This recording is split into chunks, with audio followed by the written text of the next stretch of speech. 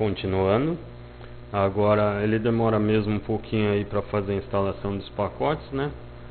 É, nessa tela ele vai instalar o carregador de inicialização Groove, né? Que é responsável por é, carregar o kernel Linux ou outros sistemas operacionais aí. Vamos dar continuar.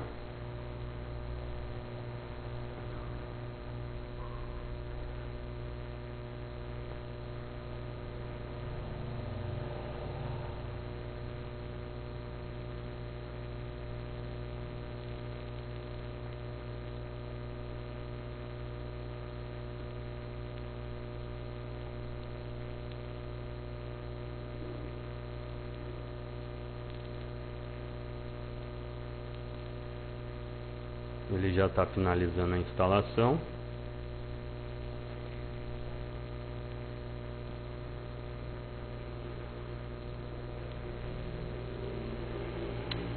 Ele diz aí que a instalação está completa, né? E a gente já pode tirar o CD-ROM da máquina.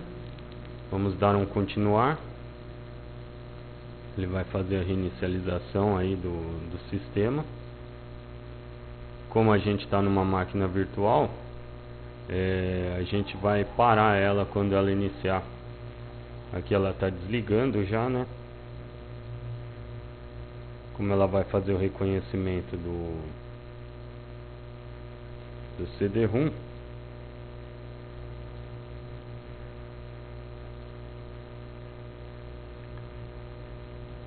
Né, a gente não... Ah, não. Até que não.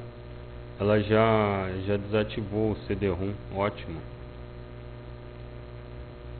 Ele irá partir já para inicialização da máquina virtual. Caso isso não ocorresse, você teria que desligar a máquina virtual e configurar lá onde a gente configurou a inicialização do CD-ROM em primeiro, colocar a inicialização do disco rígido em primeiro.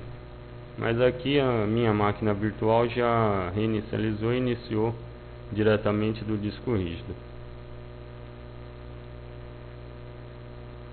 Já está inicializando o Debian.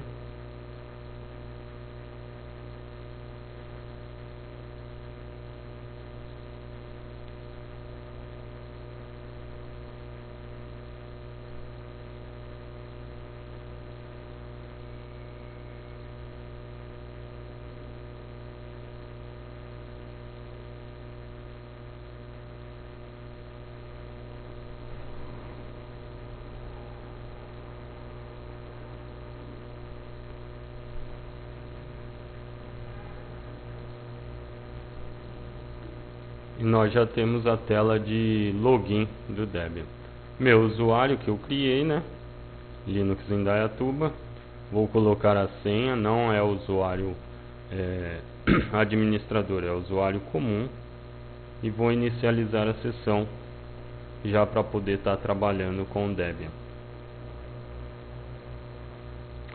Em uma outra aula eu vou estar tá ensinando, mostrando o desktop Debian, como que funciona, quais os, os aplicativos, aí fazendo uma comparação com Windows, né, para ver o que que ocorre com o software, se você precisa de um software no Windows, o que que pode ser feito.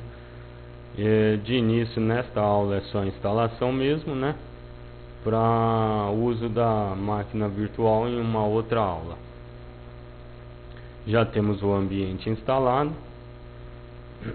Para desligar a máquina em sistema, desligar, desligar. Bom, por enquanto é isso. Até a próxima aula.